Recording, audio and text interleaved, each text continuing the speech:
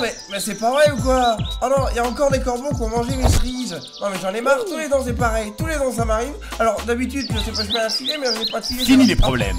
Essaye le casse-toi piaf de l'atelier tordu. Pour l'utiliser, rien de plus simple. Sors-le de son étui et écoute ce qui va suivre. Leçon numéro 1. Munissez-vous d'une bobine de fil, d'une paire de ciseaux et du casse-toi piaf. À l'aide de tes parents, découpe précisément 30 cm de fil. Place ensuite celle-ci à l'intérieur de l'album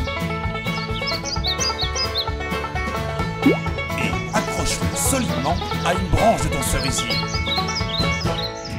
Et voilà Oh, génial Alors merci beaucoup. Hein. Alors là, je suis sûr que je vais les garder mes cerises. Merci l'atelier tordu.